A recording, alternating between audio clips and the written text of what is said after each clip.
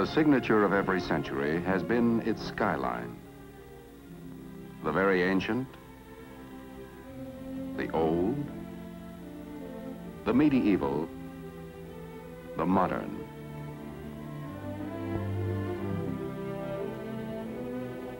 Imprints of man's never-ending path of progress silhouetted against the ageless canvas of the sky. Our day, our times, our signature, our skyline. Metal fingers beckoning to the invisible, calling to sound the ear cannot hear and sight beyond the range of the unaided eye. Our era, the era of television. The dream of television had persisted for centuries. The human eye is a miraculous instrument, perceptive, sensitive, forever tuned to the pulsating wavelengths of light. Yet the eye is hemmed in by horizons. It cannot see over a hillside or beyond the haze of distance. To extend the range of human eyesight, man developed marvelously sensitive instruments, binoculars.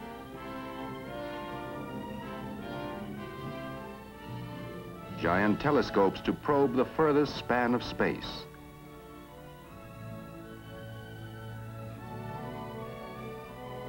But always there were barriers, distance. Could man fling pictures to the sky and gather them in at a distant point? It was a provoking challenge. And nowhere did the challenge provoke more unending experiment and research than at RCA. As far back as the 1920s, two men took up this challenge. They shared the irresistible dream of television. David Sarnoff, chairman of the board of RCA. Dr. Vladimir Zworykin, honorary vice president and technical consultant of RCA. Dr. Zworykin, every now and then uh, I like to put the calendar back and uh, remember another important occasion when you came to my office. You were a good salesman, and I was a good dreamer. We talked about broadcasting moving images by electronics.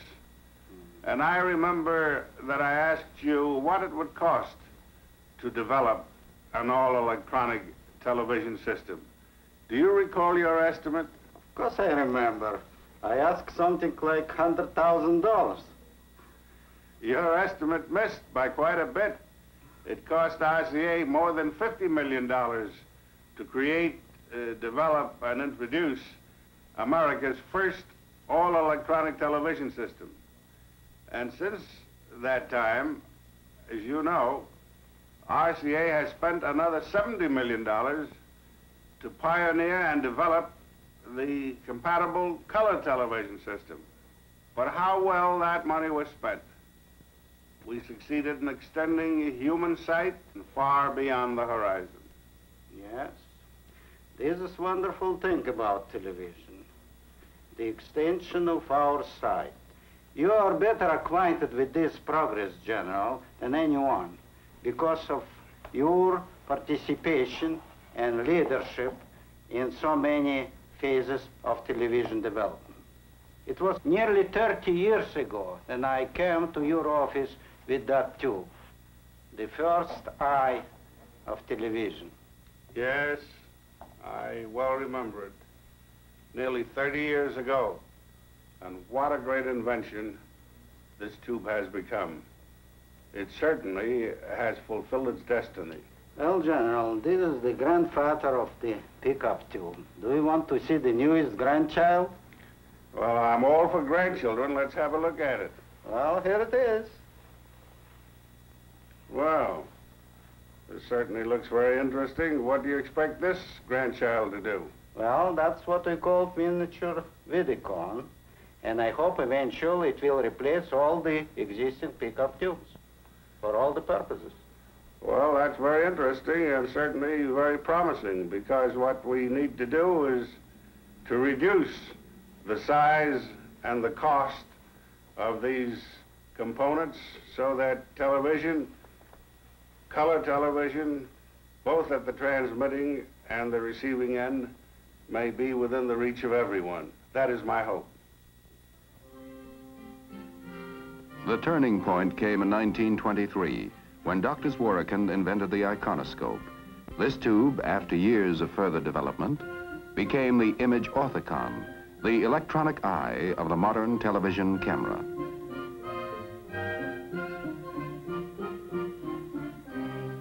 In 1929, Dr. Zworykin and his associates announced the first successful electronic kinescope, forerunner of today's television picture tube.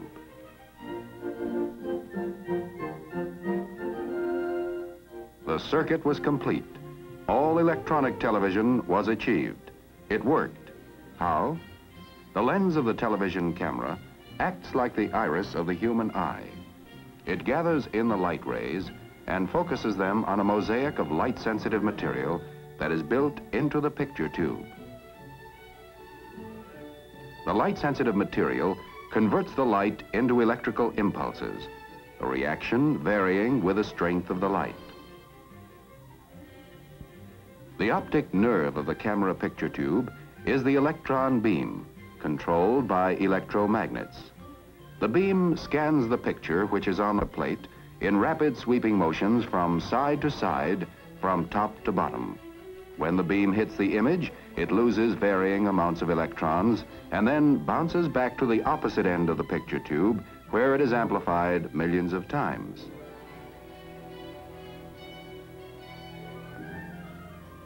It is led off to the transmitter in the form of electric current.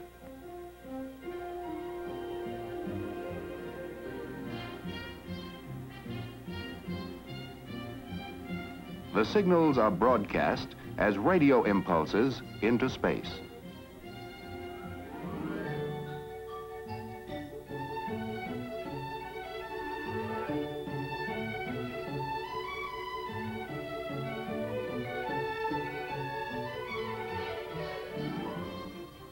Heart of the receiving set is the kinescope. Here, the action is reversed. The stream of electrons, synchronized perfectly with those of the camera tube, literally paints the picture information on a chemically treated screen line by line. The glow is bright when the beam is strong, less bright when it is weak. Thus, the picture is reassembled. 1931.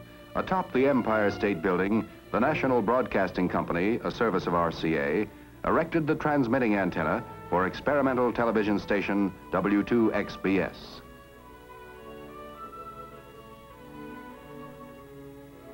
Now, RCA's technicians and scientists tackled the next goal, improvement of picture quality. Hitherto, using a mechanical process, the best that could be transmitted was a crude signal of 60 scanning lines. RCA turned to the new science of electronics, discarded the mechanical spinning disc, and soon doubled, tripled, then tripled again the scanning lines. Now television was really on its way. In 1937, television strode out of the studio with mobile vans developed by RCA and NBC, versatile, self-sustaining. New eyes, new vision for the world. A man could sit at home, yet his eyes could scan the countryside.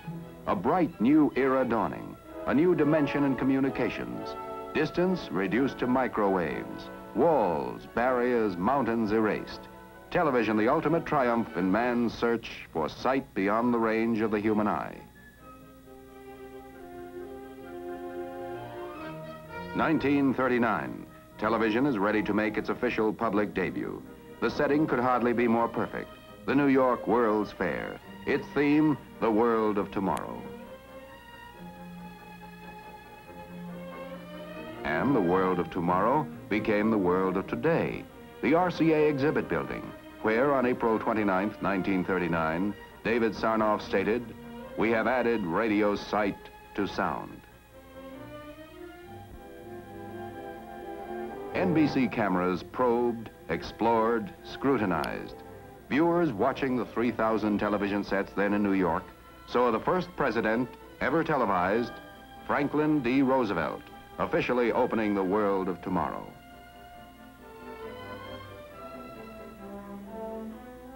Via television, the viewers toured with the King and Queen of England through Pavilion and Midway. Day by day, television produced new adventures, new vistas, new excitement, new thrills. NBC presented the first baseball game ever televised, August 1939. 1940, the nerve-tingling drama of a national political convention, the first ever televised. Philadelphia and New York were knit together by the electronic miracle of television. Radio relays, pioneered by RCA, and the telephone company coaxial cables wiped out the horizon as the far limit of telecasting.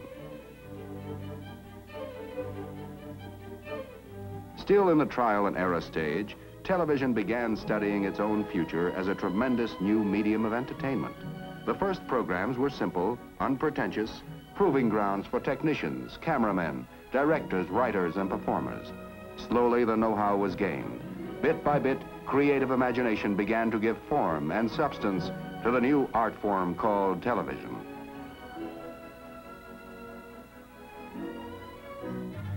Nineteen forty-one, a fateful year, war, and the beginning of a four-year blackout for commercial TV. And television enlisted for the duration. Research went forward at war tempo. At RCA's David Sarnoff Research Center, Princeton, New Jersey, 24-hour shifts explored every corner of the new world of electronics.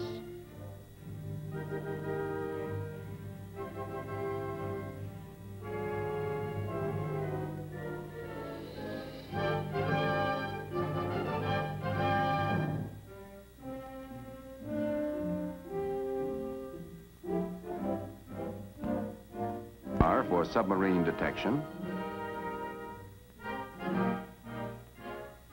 The sniper scope that made it possible to see a target in darkness. Thus, the progress of perhaps a peacetime decade was compressed into four short years. 1945, the war over. After four years of unparalleled war effort, denial, sacrifice, the American public hungry for the rewards of peace.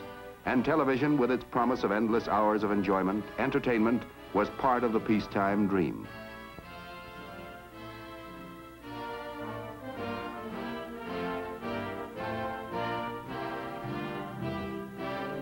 RCA, although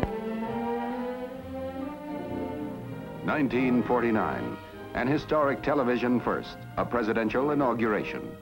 As Harry Truman took the oath, the event was a dynamic industry employing more than a million.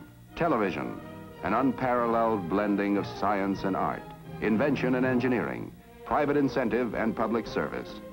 By television, American business has found a most effective advertising medium.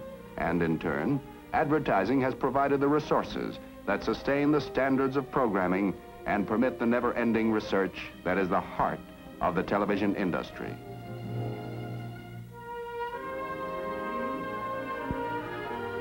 Television servicing alone has become a major industry, employing nearly 100,000 people.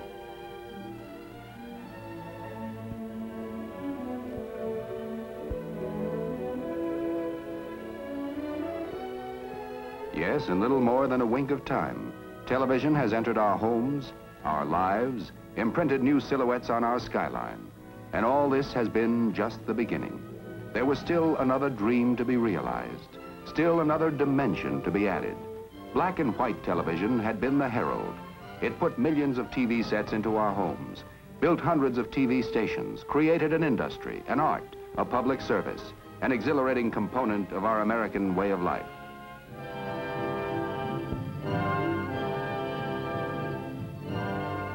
It provided the foundation for the next giant step forward. Color.